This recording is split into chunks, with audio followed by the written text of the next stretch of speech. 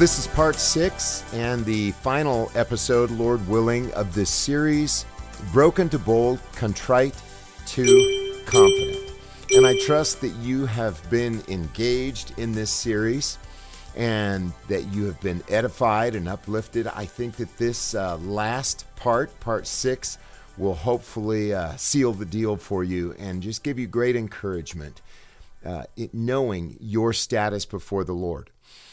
We are constantly reminding ourselves that this is a story about the northern kingdom of Israel, the lost sheep of the house of Israel. That's the primary significance, and that Jesus came to save this prodigal son, this lost sheep of the house of Israel that had sinned, and those who were in Judah were very judgmental. They represent the elder brother. But the secondary application leads us to see why there is great joy when one comes to know Jesus as their Savior, when they come to know Him as the Lord, as the risen Lord, King of Kings, and that He is our husband. He is our life. We were lost just like the lost sheep of the house of Israel. God went to find them in the day that He was among His sheep, and He found that sheep and rejoiced. He did the same for you when he gave you faith in him, when he made you willing in the day of his power. Psalm 110, verse 3 Rejoice with me, the Savior says. He wants all of us to rejoice as we come to know his children and who they are, who have placed their trust solely in his precious blood. Rejoice with me, uh, the woman says. I found the coin. All right. So, this is uh, all of this was prophesied in the Old Testament of what God would do in bringing his people to himself. And Israel, of course, was the example of humanity at large for ages and ages to come, age without end, as Ephesians chapter 3 verse 21 tells us. Joy prophesied in prodigal premonitions. We saw last week if we've never been broken, we don't need fixing. All right? Jesus was being sarcastic. Those who are well have no need of a physician, but those who are sick I have come to call not the righteous, but sinners, those who admit, I have nothing. Those who come to me saying, I have those who come to Jesus saying, Have mercy on us. Have mercy. The two blind men, have mercy, son of David. The publican, when they were both praying at the temple, smote his, upon his breast, would not so much as lift his eyes to the heaven, because he knew, as we will see, as we have seen, uh, that when they see God, he cannot look upon them without his mercy and his favor. No one is left broken. No one is left broken who places their faith solely in Jesus. Isaiah 61 The Spirit of the Lord God is upon me because he has anointed me. He has sent me to bring good news, gospel, the evangel.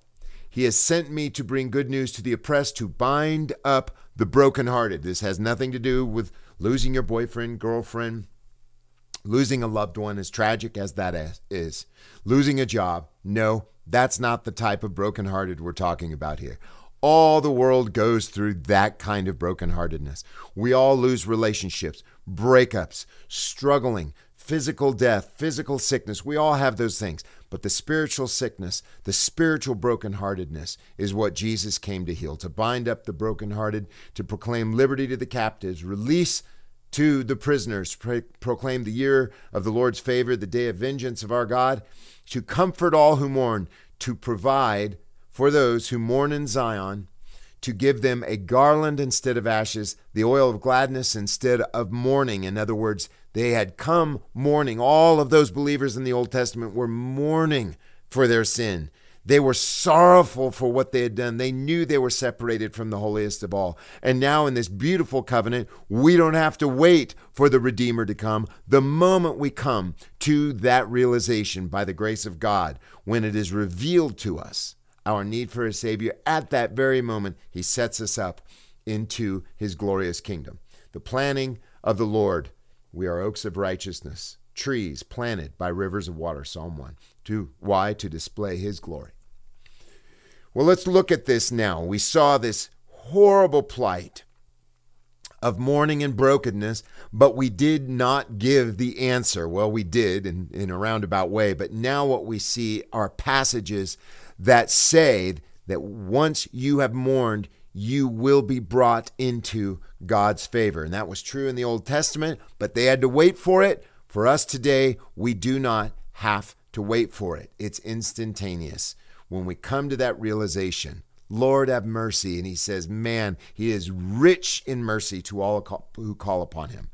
Ezekiel 16, 60 through 63. Yet I will remember my covenant with you in the days of your youth. I will establish with you an everlasting covenant. See Isaiah 55.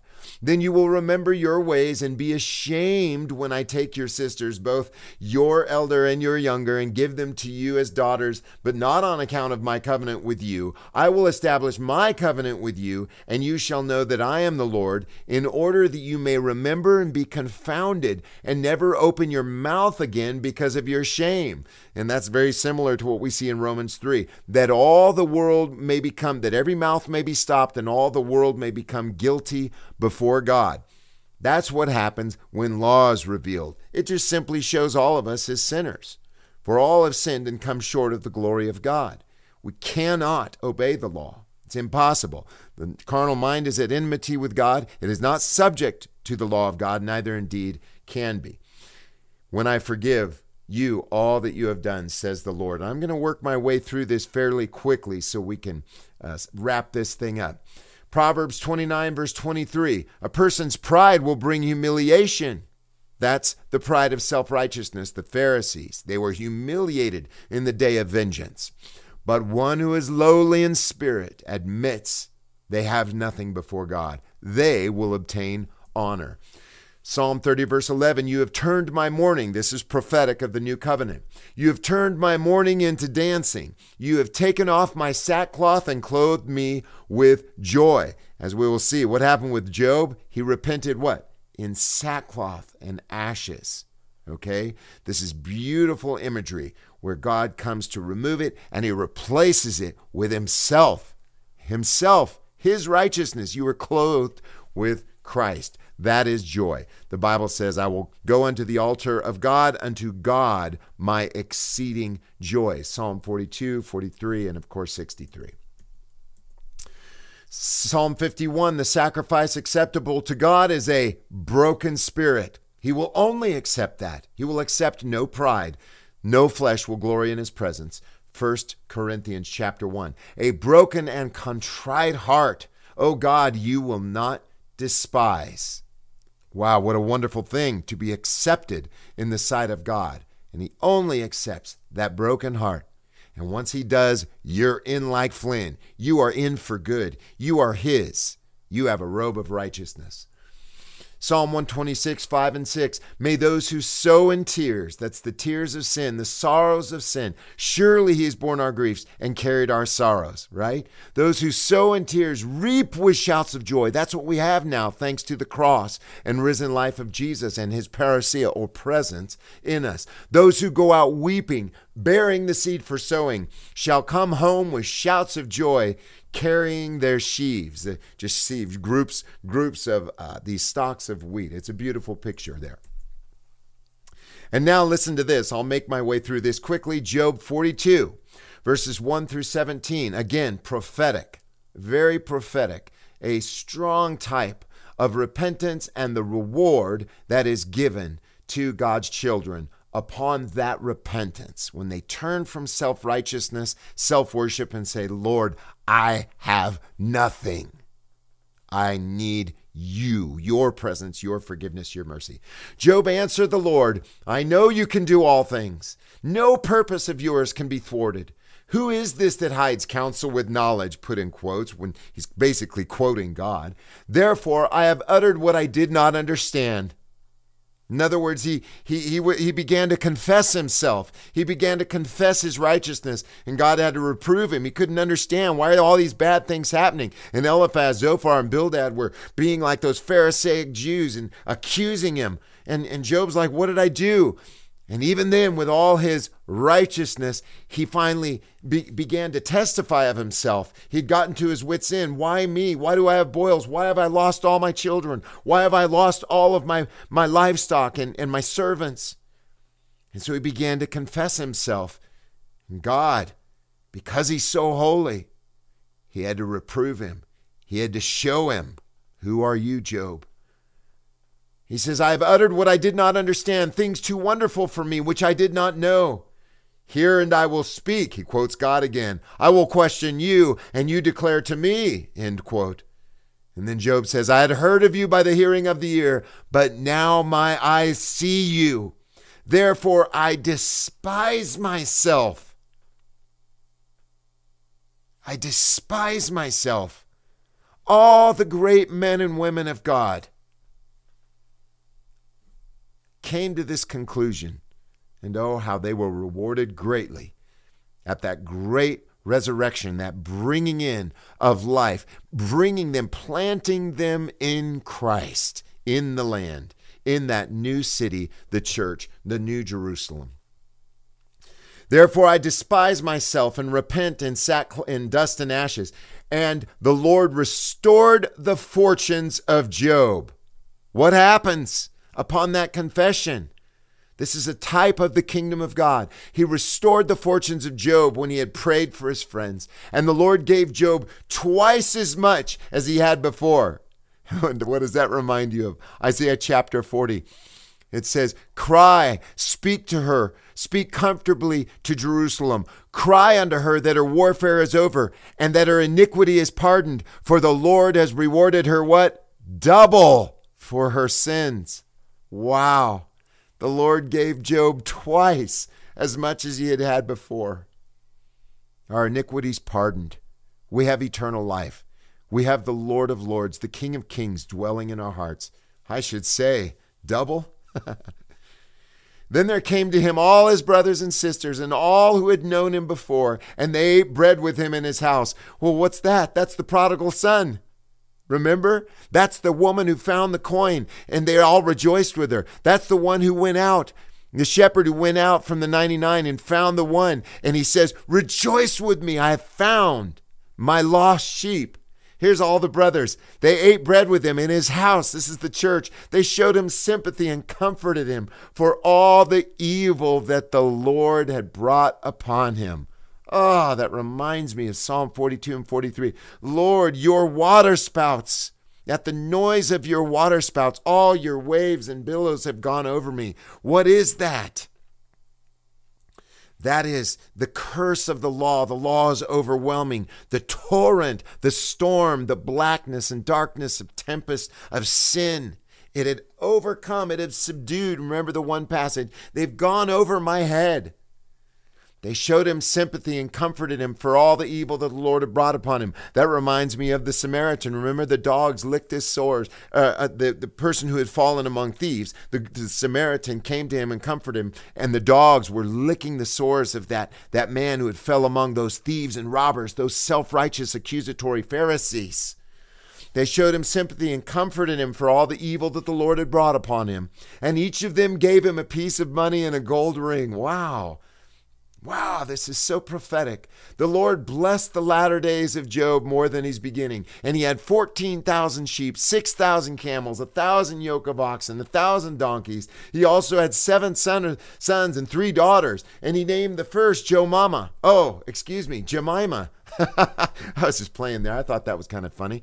The second, Keziah, and the third, Keren-happuch, and all the land there were no women so beautiful as Job's daughters, and their father gave them an inheritance along with their brothers. Do you see this as prophetic? I sure do. After this, Job lived 140 years and saw his children and his children's children, four generations, and Job died old and full of days. Matthew 5 4, Jesus says this. This is a kingdom passage. Blessed are those who mourn, for they will be comforted. And I should say, He comforted them. Amen. He gave them Himself, His presence, eternal life, and immortality. Luke 15, when He came to Himself, how many of my Father's hired hands have bread enough to spare? But here I am dying of hunger. Jesus says, Whoever hungers, let him come to me. Whoever thirsts, let him come to me. I will get up, go to my father, and I will say to him, Father, I have sinned against heaven and before you. The publican, be merciful to me, a sinner. The blind man, have mercy on us, son of David. Simon, she is a sinner. She's there at the feet of Jesus, weeping with joy, tears, all that ointment, giving him everything, all she had. Father, I sinned against heaven and before you. I'm not worthy to be called your son. Treat me like one of your hired hands. What did the psalmist say? Is I'd rather dwell on a. Uh, I would rather be a doorkeeper in the house of God, right? I'd rather be a doorkeeper in the house of God. It's a spirit, it's a posture of humility. I'm not worthy to be called your son. Treat me like one of your hired hands. So he set off and went to his father. But while he was still afar off, his father saw him and was filled with compassion. That's the heart of Jesus toward you. He ran and put his arms around him and kissed him. What an affectionate father we have. Then the son said to him, Father, I've sinned against heaven and before you. I'm not worthy to be called your son. But the father said to his slaves, How beautiful! Quickly bring out a robe, the best one, my son, the robe of righteousness, the clothing of Jesus. Put it on him Put a ring on his finger and sandals on his feet. Get the fatted calf, kill it. Let us eat and celebrate. All there it is. Rejoice with me. For this son of mine was dead and is alive again. He was lost and is found, and they began to celebrate. I hope we feel that way about all of God's children as we see them. They have his robe of righteousness, they have Jesus. We see them as Jesus sees them. We don't accuse them, we don't bring up their past. Hebrews chapter 4 Indeed, the word of God is a living and active, sharper than any two edged sword. This is the gospel. This is speaking about Jesus. Piercing until it divides soul from spirit, joints from marrow. It discerns, judges the thoughts and intentions of the heart. That's why he wants us open. He sees it anyway, and he's just saying, Be open with me. Oh, would to God that we would be able to do that to one another. Amen. Be able to see each other be able to see the darkest, deepest, grossest secrets of each other and say, You're perfect, you're blameless in the eyes of God. You have the robe of righteousness, the righteousness of Jesus. You're as righteous as Jesus. And before Him, no creature's hidden. We might as well. But all are naked and bare to the eyes of the one whom we must render an account. This is just simply taking us back to that imagery of nakedness in the garden. Adam, Eve, I see your sin. Don't try and cover yourselves with your fig leaf, your works. I just move those aside. I see it. Let me clothe you. Let me give you my skin, my clothing, my son.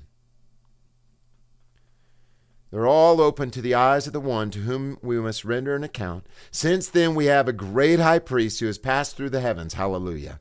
Jesus, the Son of God. Let us hold fast our confession, for we do not have a high priest who is unable to sympathize with our weaknesses, but Glory to God. We have one who in every respect has been tested as we are, yet without sin. Let us therefore approach the throne of grace with boldness broken to bold. There it is. So that we may receive mercy and find grace to help in time of need. And has He ever given us that grace and mercy? We come boldly, Hebrews chapter 10. We have boldness, we have assurance because we've entered in to the holiest of all by the blood of Jesus. It's all gone. All of our sins are gone, removed as far as the east is from the west. And finally, God says to the wicked, Listen to what he says. Very important. This is so prophetic.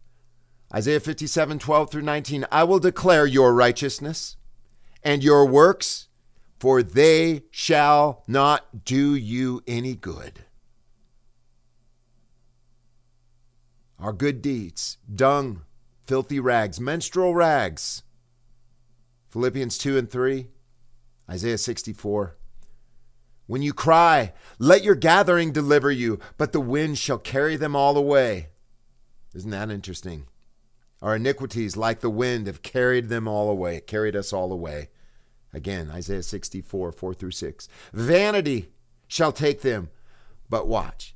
He who puts his trust in me shall possess the land. That land is Jesus. He is our inheritance. God said, remember, I am your portion the, and, and the lot of your inheritance. I am your portion. God is the land. They shall inherit my holy mountain, the church, Mount Zion, Hebrews 12 22. And he shall say, Raise up, raise up, clear the way, make the stumbling block rise out of the way of my people. For so says the high and lofty one who inhabits eternity.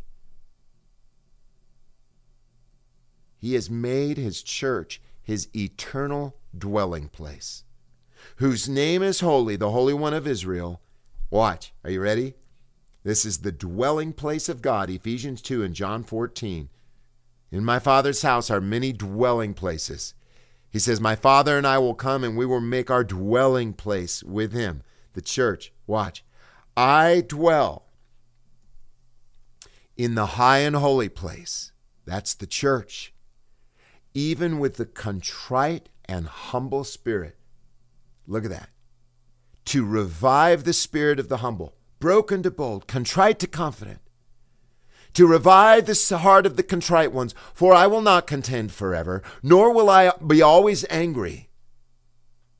God was angry, he was filled with wrath, but what did he do? He poured out all that anger and wrath on his son. It was taken from us, poured on the son, so that he would enjoy us and we would enjoy him. For the spirits should fail before me and the souls I have made. For the iniquity of his covetousness I was angry and struck him. Ugh, that's what the law did. It struck us, it smote us, so that sin might become exceedingly sinful. He says, I hid myself and was angry. It is not that the Lord's hand is shortened or his ear heavy that it cannot hear, but your sins have separated you from your God, and he has hidden his face from you. Isaiah 59. I hid myself. I was angry. But Jesus, the showbread, the bread of life, the showbread, that Hebrew word means a turning of the face. Jesus is the bread of life. And when we eat of the bread of life, God turns his face, a turning of the face. Jesus is that showbread that causes God's face to look upon us and smile, in his countenance to behold us. This is the holiest of all. I hid myself. I was angry. He went on turning away in the way of his heart. I've seen his ways and I will heal him. Hosea 13. I will love, or 11, I believe. I will love them. I will heal their backsliding. I will love them freely, he says. I will also lead him. The Bible says he leads us by streams of living water. I will restore comfort to him and to his mourners. Mourning first. Blessed are those who mourn, for they shall be comforted. I create the fruit of the lips. Peace, peace to him that is afar off and to him that is near.